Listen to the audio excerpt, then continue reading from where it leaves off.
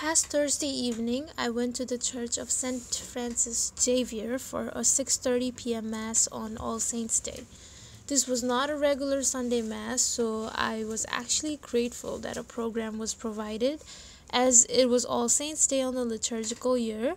The liturgical music in this Mass started off with the Litany of the Saints, which is a piece we've been hearing often in class, so I could relate to it.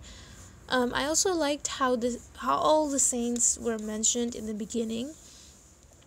Um, the three purposes of the music to give thanks, to offer praise, and to pay respect was evident in all of all the texts of the music. But the music in this mass also felt more celebratory than usual, like this one.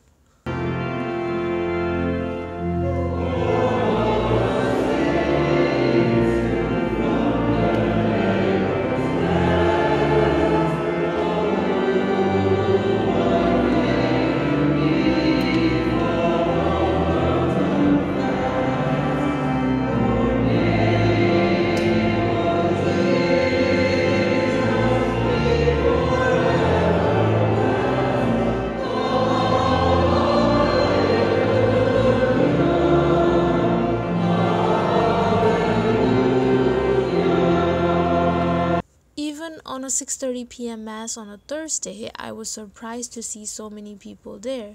People stood up or kneeled down pretty much the entire mass, and they were singing throughout. Even during the brief bread and wine walk, great hospitality as well. Um, I expected the music to be very good after I saw the high ceilings, but unfortunately, it was not. They had huge balcony spaces left unused and instead had a huge choir on the corner.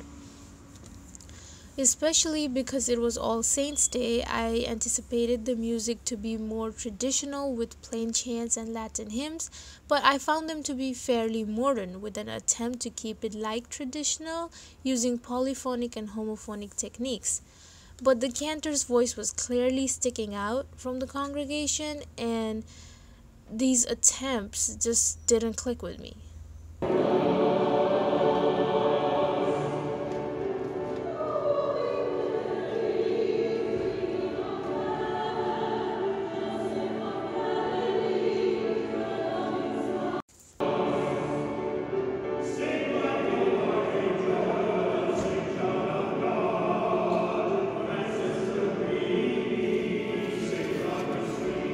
Maybe because I've already heard the Marble Collegiate Mass music, this one felt more relaxed and as though sung by locals than by professionals.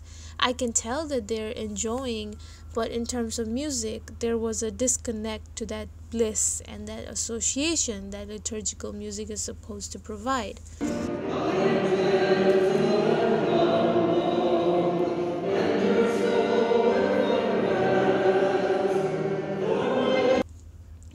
In conclusion, it was another good experience in understanding how important the role of liturgical music is in Catholic Mass.